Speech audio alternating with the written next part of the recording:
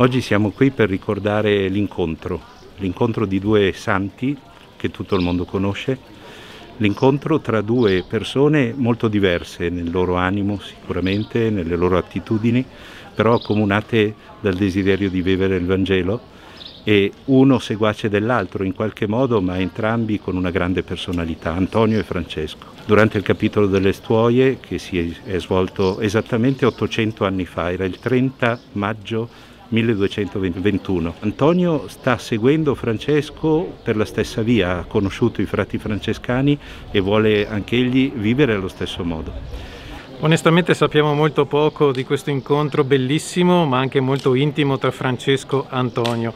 Francesco era famosissimo, Antonio era nessuno che proveniva da un'esperienza difficile e anche drammatica dopo un naufragio in Sicilia Pertanto possiamo solamente immaginare che un giovanissimo Antonio eh, si trova nella condizione e nella gioia di poter attingere a piene mani al carisma in questo bel incontro di Assisi. Antonio è proprio un frate, un figlio fratello di San Francesco e anche oggi appunto le due basiliche camminano insieme, quasi con due fari, no?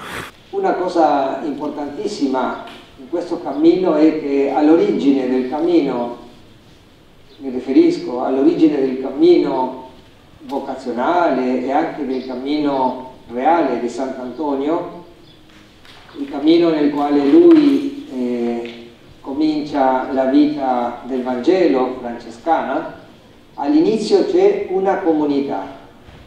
Da quella comunità lui parte per l'annuncio del Vangelo e dopo Dio lo porta all'incontro con la fonte di quella comunità, la fonte carismatica, la fonte di ispirazione di quella comunità minoritica di frati giovani penitenti che è San Francesco. L'esempio di Francesco ed Antonio dobbiamo oggi eh, capire come un'ispirazione per le sfide di, di, di oggi ha naufragato in, in, in Mediterraneo, ha portato a, in Sicilia e è stato accolto in Italia all'epoca, è stato accolto dai francescani, è stato accolto dalla gente da qua e è stato un bellissimo esempio di come il popolo europeo, europeo come l'italiano e anche gli altri possono accogliere.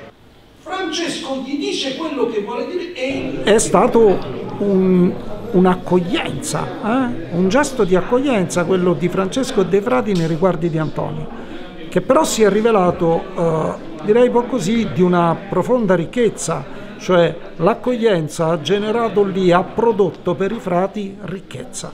Credo che questo è stato vero ieri e possa essere vero anche oggi. L'accoglienza non è, porta solo problemi, ma può riversare su di noi enorme ricchezza. Se ci rimanesse già da quell'incontro questa consapevolezza per l'oggi, beh, vorrebbe dire che avremmo fatto quasi 13 al Totocalcio.